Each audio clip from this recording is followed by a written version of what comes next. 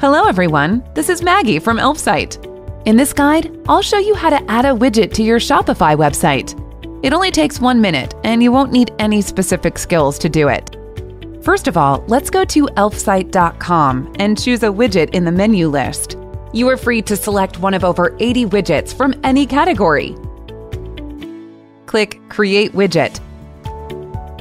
Choose a template that suits your case best and customize it. Click Add to Website. And you'll see the widget that you have just created.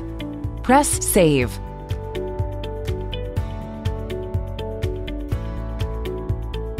Click on the code to copy it and go to your website's admin panel.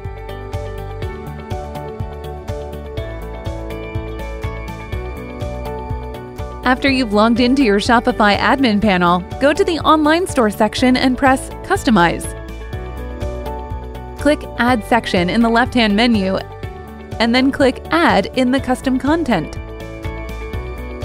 Remove the pre installed sections.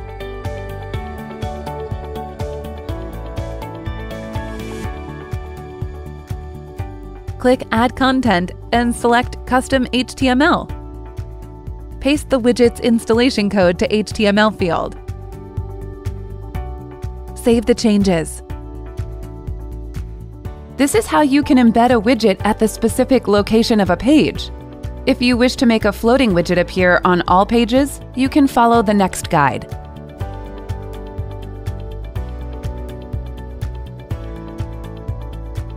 After you've logged into your Shopify admin panel, go to the Online Store section and select Actions.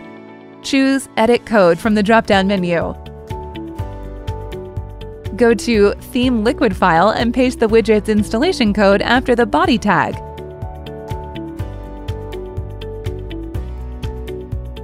Save the changes. Go to the page to check your widget. This is how easy it is. But if anything goes wrong at any stage, message us at support at elfsight.com. Also, we've got tons of cool and exciting widgets, and you're very welcome to try them out for free. Just click the link in the description. Thank you for watching this video. Enjoy your day.